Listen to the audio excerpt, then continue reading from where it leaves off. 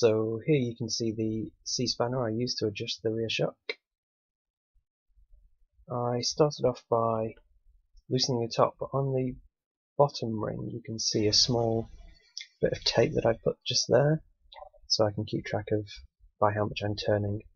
So like I said, I started off by loosening off the top ring. Um, once I was, as I was doing this, I noticed quite a lot of buildup of gunk and dirt and so on.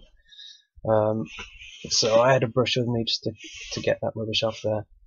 As you can see in the foreground as well, the rear brake reservoir was kind of in the way, so I loosened that off and just tilted it to one side so I could um, actually get the spanner into there.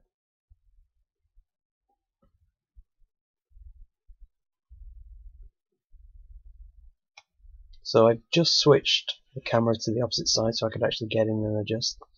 Now this C-spanner that I was using was a little on the large side, it was quite thick, um, whereas the actual rings are quite thin. So it's quite difficult to use.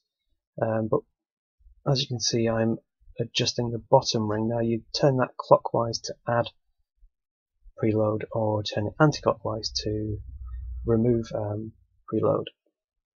So in this case I was adding it um, a bit tricky as you can see with using that spanner, but got it done in the end.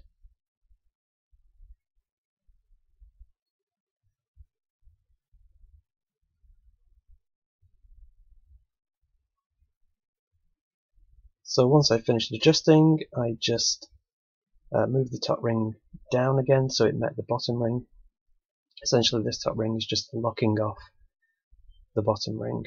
Um, so I just tightened it up there and then went back to tightening it with the spanner. Again, a bit tricky with this, it's a little on the large side, but it does the job in the end. Um, so yeah, that's pretty much it.